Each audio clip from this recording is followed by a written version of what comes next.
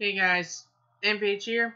From the bottom of my heart, I want to thank you all for 2,000 subscribers. I have no idea how I got there, but, like, it's not that it's a number. Like, it's not that it's a high number, and it's not just that it's higher than anyone uh, would ever expect out of me, or even I would expect. It's just that, like, when I look at my subscribers, I don't think of a number.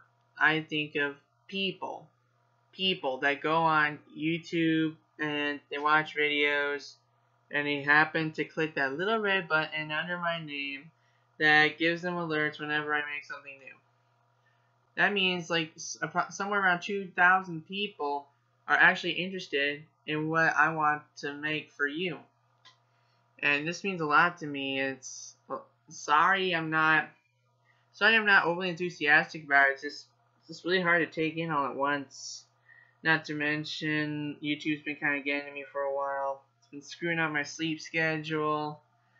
And I might just go back to making uploads less frequently.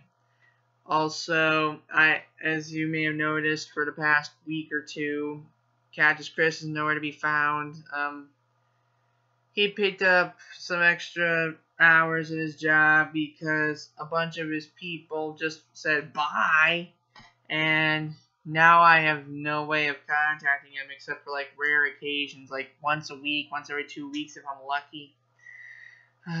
so you likely won't be seeing any proper React videos out of me and him for a while. I'm working on getting another guy, but it involves actually cleaning my room, and I'm generally a lazy ass.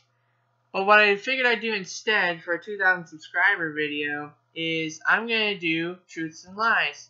I'm going to read 8 facts about myself. Four of them are actual facts about me that I will go into detail with in another video. And four of them are bogus. So I'm going to read these in no particular order. And it's up for you guys in the comments to guess which ones are the truths. Number one, I never lost a game of Call of Duty. Never. Number two, this channel is not mine. Someone else actually hired me to run this thing for them. Number three, I have high functioning autism. Number four, these are my glasses. I'm supposed to wear them, but I always forget.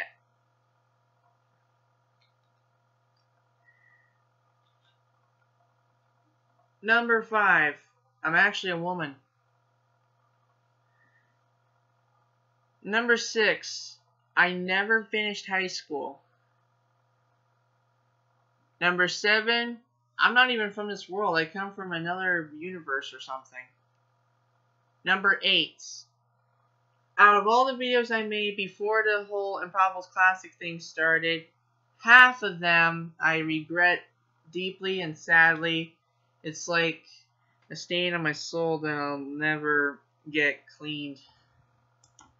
Well, so those are some facts and lies about me. Which ones do you think are true? Let me know in the comment section below. And and then in the next video, hopefully it's the next video, I'll give you the answers that you seek.